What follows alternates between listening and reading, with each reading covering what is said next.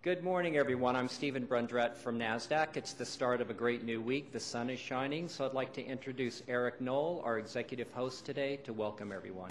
Eric?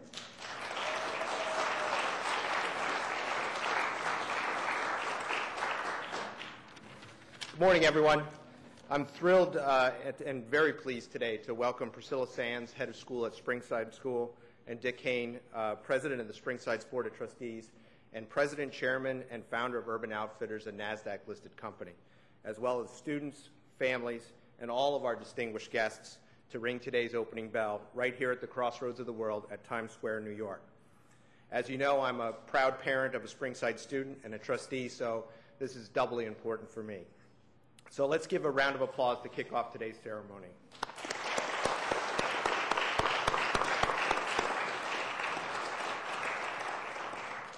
Springside affirms its choice to be a school for girls and young women.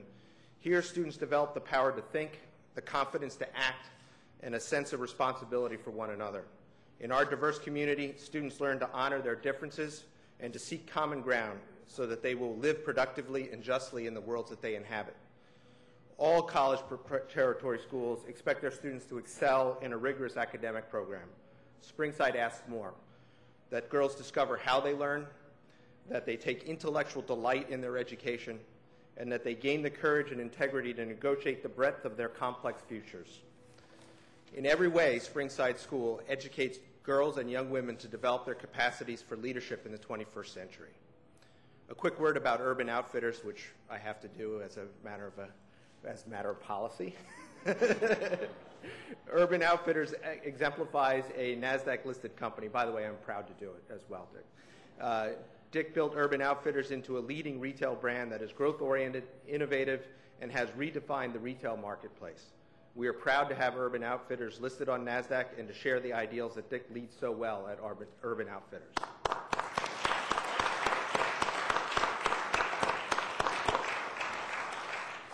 Priscilla, Dick, I'd like to salute you on your continued success at one of the oldest schools for girls in Philadelphia. Uh, we're proud to be your partner working together, driving new ideas, driving growth, and this morning we salute your leadership. Uh, now please join me in welcoming Priscilla Sands, head of school at Springside School, and Dick Hayne, president of the Springside Board of Trustees.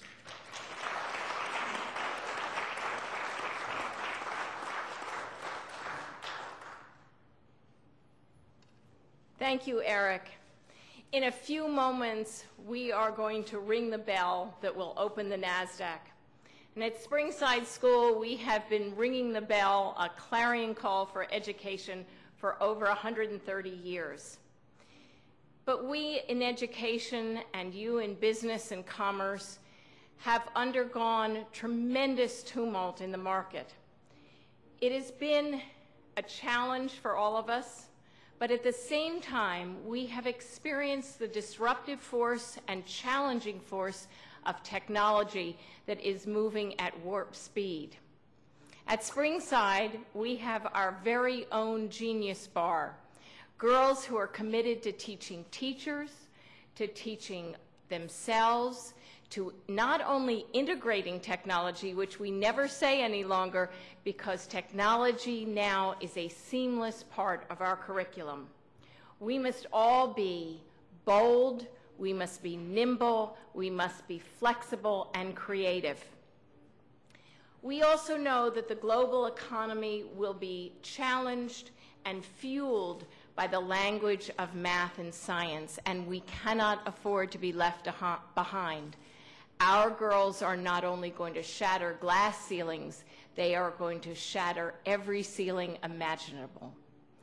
We know this because we watch our youngest students in their own physics labs, physics labs created for four-year-olds. And that said, we also know that great cultures are defined by their music and their art, and we do away with these in education at our peril. The humanities programs pave the way by telling us the story of our past so that we can direct our future. And we remain inspired by the words and literature of those voices from antiquity all the way to the present. At Springside, We also encourage our children to tread more gently on their planet. If you came to Springside, you would see rubber boots snuggled into their cubbies along with sneakers, and you watch our committed children uh, challenging themselves to compost, to recycle, to reuse, to monitor the water supply. We have even installed the largest single solar panel array in the city of Philadelphia, and we are so proud of our work. So I am proud to stand here with leaders of energy and commerce, of business people all over the world, proud to be part of this system. And as you go off in the day to trade in futures, we will be directing the future. This next generation of children is certainly worth the investment. Thank you so very much.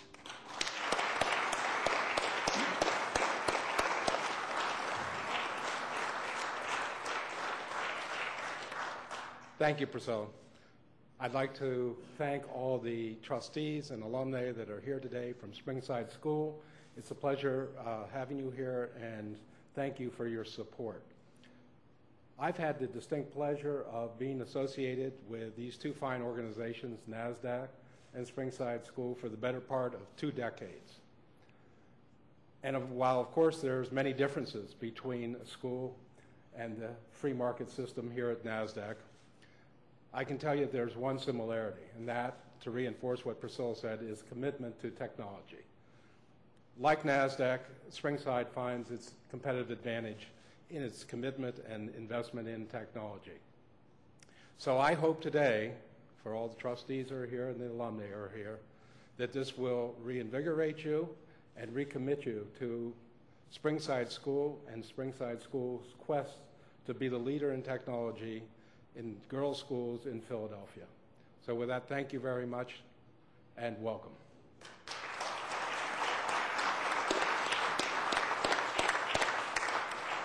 I'd like to present both of you this uh, commemorative crystal for this morning's opening bell. Thank you very much.